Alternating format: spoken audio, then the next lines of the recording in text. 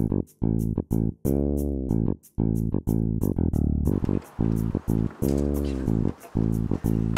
morning, Earthlings. Hey, you know, on Camano Island where I live, crabs are like really popular. So I painted some. So you'll finally get a class out of me. Painting crabs.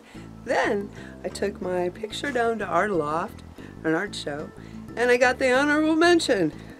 Who knew? So that's what's gonna happen here today. We're going to paint crabs, crabs, crabs. So I'm, I have to get ready for Art because I paid my dues, dollars, and you get to put three pieces in. But last year, I won a blue ribbon from my picture. So, and that felt really good. I could put that on my resume. Well, the deadline to get my work in is today. Did I say today? Hmm. I better get busy then. So I found this crab.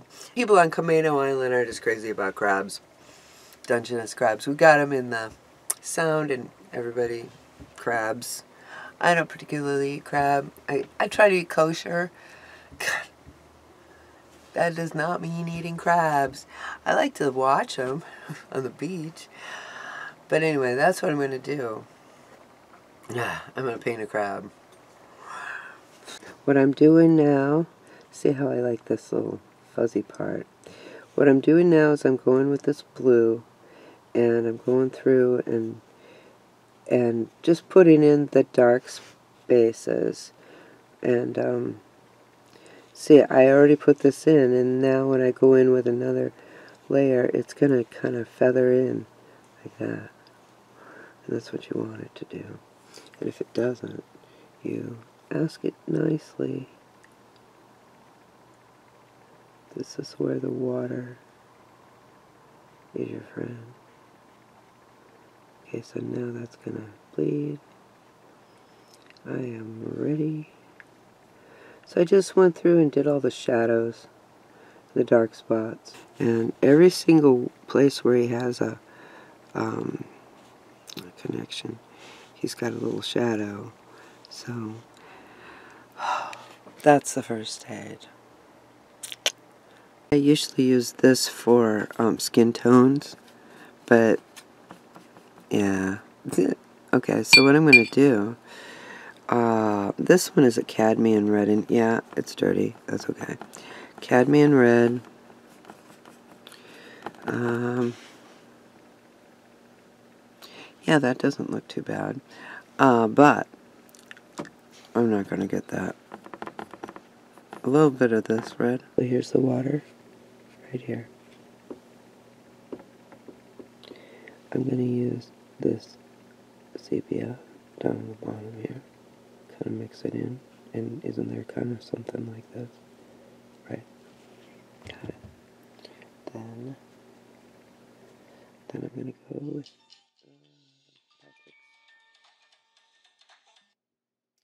Hello? My what? Your truck was almost murdered. Murdered? Murdered, you know, like um, obnoxiously killed. Oh, I see. I was driving down River Road, and then somebody coming the other direction decided that 50 was not fast enough for him. Right. And, and he decided to pass a line of traffic, and I looked up, and here's his headlights coming at me.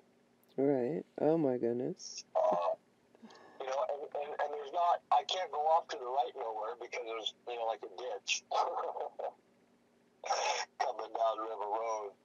Oh my So god. I'm, I'm standing on my brakes and still almost nothing I can do because he's coming. You know what I mean? Mm-hmm. And the, and the truck is there, and you better get the, the other side around this other traffic. And anyway, yeah, he probably missed me by about a foot and a half. Wow. Um, and I, I had probably stood on my brakes and was down to maybe five miles an hour. No way. By the time he passed, yeah, by the time he got back in the other lane, I don't know how fast he was going, probably 75, 80. Wow. Because traffic's coming that way, you know, they, they go 45, 50 plus, you know, and he was passing two or three cars. Wow. Golly. and and, and the funny thing is, is that when I got cars passing me all the time, you know, Mhm. you just meet them at the railroad crossing because the train's there. Right? They go flying the fuck around you, getting ready to kill a half a dozen people just to wait in front of you at the train crossing. oh, that's funny. Fuck. I'm gonna go inside. That's a really good thought. Ponder on that one and go make a lot of money. All right. Thank you, Dan.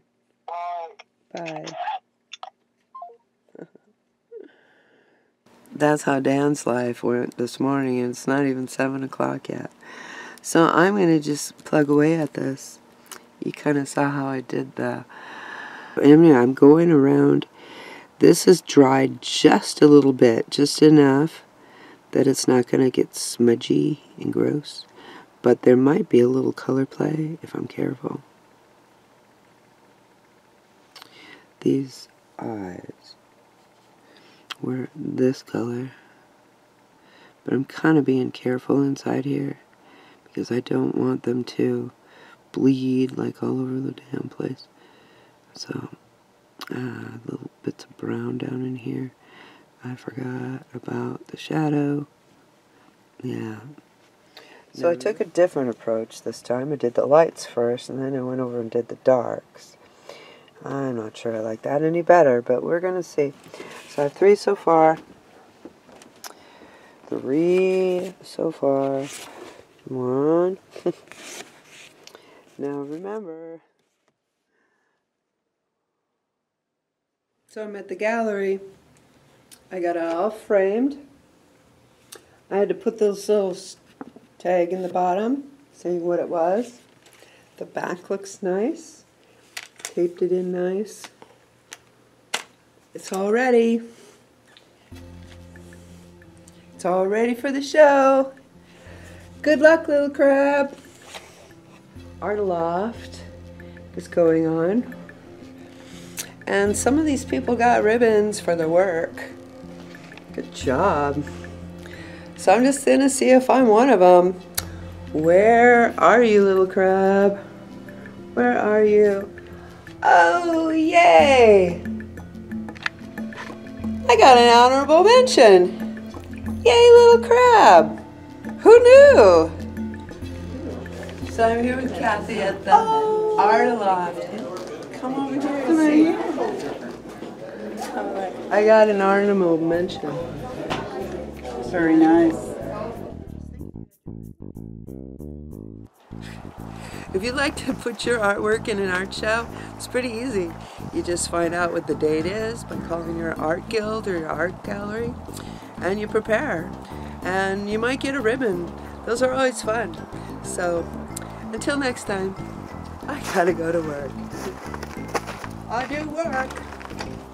Sometimes.